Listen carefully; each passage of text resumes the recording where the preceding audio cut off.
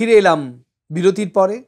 আমাদের সঙ্গে আছেন প্রাবন্ধিক সম্পাদক, সংকলক, আকাশবাণী এবং দূরদর্শনের দীর্ঘদিনের পরিচিত কণ্ঠ, পরিচিত কলম, বাংলা সংস্কৃতির অন্যতম পুরোধা ব্যক্তিত্ব শ্রী ভবেশ দাস।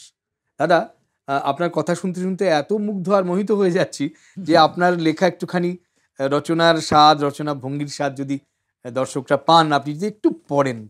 যেহেতু শঙ্খ ঘোষ নিয়ে কথা হচ্ছে হ্যাঁ। সেই জন্য ওর এই বইটা তো আপনি প্রথমে উল্লেখ করলেন যে হ্যাঁ। বইটা বেরিয়েছে। দুই হাতে যা নিরাময়। বাড়িতে উনি দুদিন কবিতা পড়েছিলেন। খুব ভালো। আলাদা বছর একবার দু হাজার এগারোতে একবার দু হাজার ষোলোতে। এগুলো যথেষ্ট আপত্তি এবং সংকোচ থাকা সত্ত্বেও অনেক প্রত্যাখ্যানের পরে পড়েছেন আর কি। কেননা আমি ওর কবিতা পড়াকে খুবই পছন্দ করি মানে মানে ওর ওর পড়ার ধরন এবং তার পৌঁছে যাওয়ার একেবারে ভেতরে পৌঁছে যাওয়ার ক্ষমতা। তো সেইটা আমাকে একটা লিখতে হয়েছিল ওই প্রতিবিম্ব পত্রিকায় একটা তার একটু অংশ বিশেষ আমি পড়তে পারি। মৃদু গলায় নিস্তরঙ্গ নির্ভার উদাসীন স্বরে যারা তাদের কবিতাকে পৌঁছে দিতে চান শ্রোতার কাছে তাদের অমন কবিতা পাঠও চলে যেতে পারে তাদেরই কবিতার বিরুদ্ধে। কবির ভাব ভাষা তার কবিতায় চয়িত শব্দের সমাহার সব মিলিয়ে যে মাত্রায় পৌঁছতে চায় তার পাঠ। সেখানে মৃদু গলার নিস্তরঙ্গতা, সেখানে কবিতা আর পাঠ হয়তো দুই মেরুতে অবস্থান করে। দুইয়ের মধ্যে তৈরি হয় দূরত্ব। এমন দৃষ্টান্ত দিয়ে শঙ্খ ঘোষ নিজেও বলেছেন, পল ভ্যালেরি নাকি অভিযোগ করেছিলেন, স্টেফান মালার্মের একটানা মৃদু গলার আবৃত্তি তার কবিতা তত্ত্বের পরিপন্থী।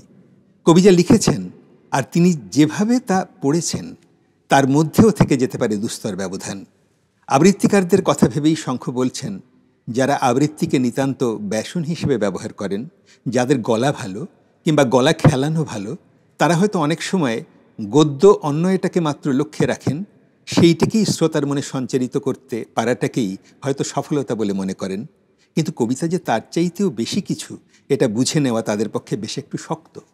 কিন্তু শঙ্খ ঘোষের কবিতা পাঠে এই বেশি কিছুটা সেদিন পেয়েছিলাম সাহিত্য একাডেমির আয়োজিত আসরে। আমরা যাকে বলি মন্দ্রস্বর, কেউ বলেন তাকে ব্যারিটন ভয়েস। তা শঙ্খঘোষের ছিল কিনা তা নিয়ে তর্ক করার জোর আমার নেই। তবু শ্রোতার সঙ্গে পরিপূর্ণ সংযোগের পাঠ যাকে বলতে পারি, তা লগ্ন হয়েছিল তার কণ্ঠে। কবিতার মর্ম ছুঁয়ে ফুটে ওঠে যে শব্দের বিভা। সেই বিভা তার পাঠের মধ্যে দিয়ে ছড়িয়ে দিতে পারতেন শঙ্খ। পেশাদার আবৃত্তিকারদের জনপ্রিয়তার ঝোঁকের যে একটা পরিপ্লাবী ধারা থাকে, তা অনেক সময় কবিতার অন্তঃসার বা মর্ম থেকে দূরে সরে যায়। যদিও আবৃত্তিকার মনে মনে তা চান না, কিন্তু ঘটে যায়, যেতে চায়, কোনো বিশেষ ঝোঁকে। কবিরা কখনো সেই ঝোঁকে সংক্রমিত হতেও পারেন। আবার এমন অনেক কবিকেও আমরা পাই, যারা একান্তই নিজের বিশেষ প্রকাশভঙ্গির আয়তসীমার মধ্যেই নিজেদের ধরে রাখতে চান। সেই ভঙ্গির বিশেষ আঙ্গিক দিয়েই তাদের আলাদা করে চেনা যায়। এই আঙ্গিকে কেউ কেউ সত্যিই এমন সুগভীর বিশিষ্টতা মিশিয়ে দিতে পারেন যা শ্রোতার কানে পৌঁছয় এক প্রাঞ্জল মহিমায়। বাহ! তখন কবিতা যতখানি কবির ততখানি শ্রোতার। খুব ভালো। একটা অসামান্য অংশ বা আপনি পড়লেন আমারও মানে স্মৃতি উতলে উঠছে সাহিত্য একাডেমি সেই অনুষ্ঠানের শ্রোতা আমিও ছিলাম। অথচ আপনি কি সুন্দরভাবে সেটা ধরে রেখেছেন? আর সত্যি সত্যি দর্শক বন্ধু যারা দেখছেন শঙ্খ ঘোষের স্বকণ্ঠে তাঁর কবিতা পাঠ শোনার অভিজ্ঞতা ধরে রেখেছেন আপনি। আপনাকে প্রণাম আপনাকে নমস্কার। দাদা আপনি তো সম্পাদনার কাজও অনেক করেছেন। মানে অজিতেশ বন্দ্যোপাধ্যায়কে সেটাই একটু বেশি করতে হয়েছে বেশি করতে হয়েছে আপনাকে।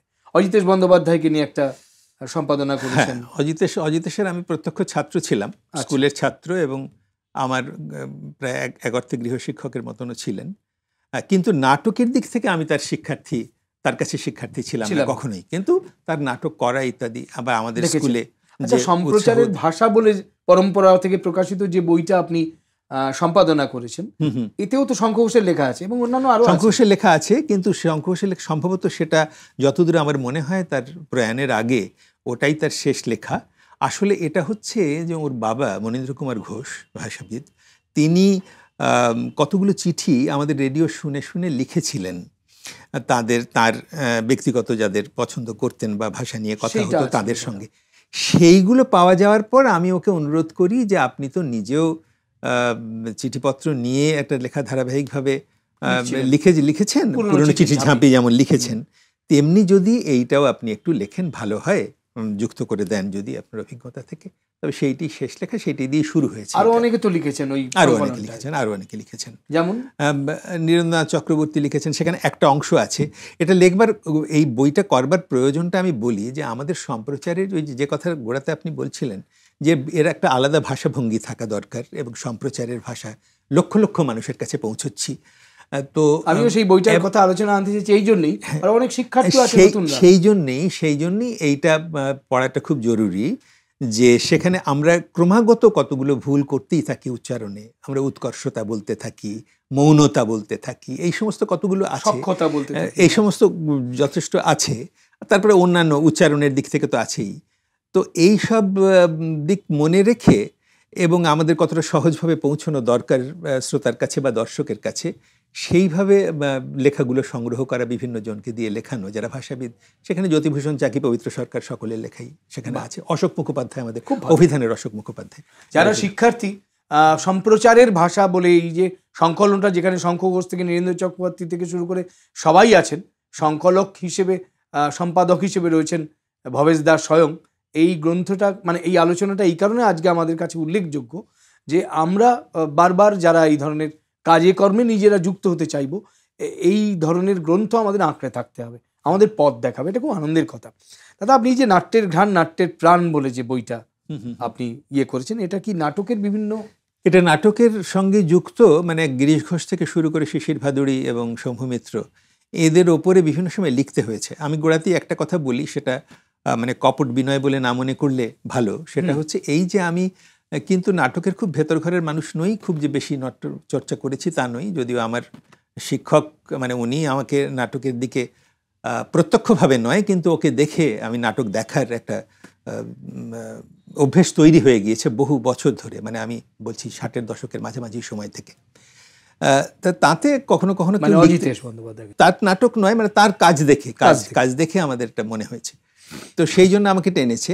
এই জন্য কখনো কখনো আমাকে লিখতে বলেছেন, রঙ্গমঞ্চ বলে একটা পত্রিকা আমি অনেক আগে সম্পাদনা করেছিলাম, অনেক আগে মানে সেটা সত্তরের দশকের কথা বলছি। এবং পরবর্তীকালে একেবারে হালে নান্দিপট বলে একটি পত্রিকা সম্পাদনা করতে হয়েছে আমাকে মানে সেটা আমন্ত্রিত সম্পাদক হিসেবে কাজ করেছি। এই বিভিন্ন সময়? বহুরূপিত নান্দিপটের সম্পাদনা আমি বলছি যে চারটে সংখ্যা করেছি কিন্তু আমি তাদের কাছ থেকে খুব অব্যাহতি চেয়েছি কেননা আমার যে সমস্ত কাজ জমে আছে সম্পাদনা সংক্রান্তই আমি মৌলিক ইয়ে বলব না মৌলিক কিছু আছে কিন্তু সেইটা তারা ছাড়তে চাইছে না কিছুতেই কিন্তু আমি একটু জোর করেই তাদের কাছ থেকে অব্যাহতি নেব এবারে। আচ্ছা আপনার আগামী পরিকল্পনা কি আছে? আগামী পরিকল্পনার মধ্যে আমার না একটু কলকাতা বেতার নিয়ে ভাবনাটা একটু বেশি আমি কলকাতা যেটা সবচাইতে বড় কাজ বলে সবাই বলেন সেটা হচ্ছে কলকাতা বেতার এর পঞ্চাশ বছরের ইতিহাস তিন খণ্ডে বেরিয়েছে। যেটার প্রথম খণ্ডটা বেরিয়েছিল সরকারি লেখা সবটা? না না আমার লেখা নয়। আচ্ছা। বিভিন্ন জনের লেখা কিন্তু ইতিহাস ধর্মী রচনার সংকলন সেটা। আচ্ছা। মানে পুরনো দিনের মানুষ মানে ব্রিটিশ রাজ মানে আমাদের স্বাধীনতার আগে আমাদের সম্পাদনা করেছেন আমি আমি করেছি। প্রথম খণ্ডটা সম্পাদনে আমার সঙ্গে আমার বন্ধু প্রভাত কুমার দাসও ছিলেন। ও আচ্ছা। পরের দুটো আমি এককভাবেই করেছি দ্বিতীয় এবং তৃতীয় খণ্ড। প্রথম খণ্ডটা নতুন সংস্করণ হয়ে এই অল্প কদিন আবার একটা সংস্করণ হয়ে এই অল্প কদিন আগে বেরিয়েছে। আগে ছিল পাঁচশো চুরাশি পাতা এবার হয়েছে ছশো বাহাত্তর পাতা। অর্থাৎ কেননা এর রেডিও পঞ্জিটা অনেক বড় করতে হয়েছে আচ্ছা। তার নির্ঘণ্ট বড় করতে হয়েছে এই সমস্ত কারণে।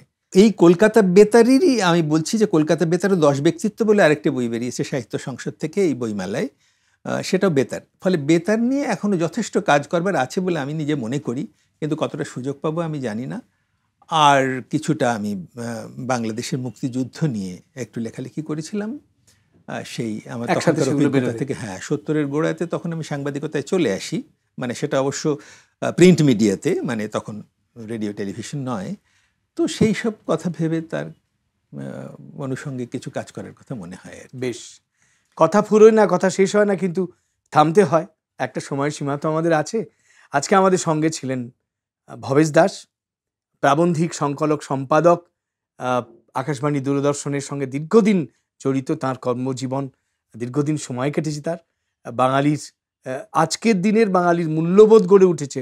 প্রণবেশ সেন, ভবেশ দাস এদের কণ্ঠ শুনে এদের একটার পর একটা সমীক্ষা, কথা শুনে সে ছিল বেতারের যুগ। তিনি বেতার নিয়ে আগামী দিনেও ভাবছেন, ভাববেন সম্পল, সংকলন করছেন এবং সম্পদ সৃষ্টি করছেন। এগুলোকে বলা যায় আমাদের বাঙালি সাংস্কৃতিক ঐতিহ্যের অংশ হয়ে যাচ্ছে। শেষ করছি অনুষ্ঠান। ভবেশদা আপনি এসেছেন। হ্যাঁ। আপনাকে অনেক নমস্কার। আমি আমিও নমস্কার জানাই এবং দর্শকদেরও আমাকে সহ্য করার জন্য নমস্কার জানাই। ধন্যবাদ।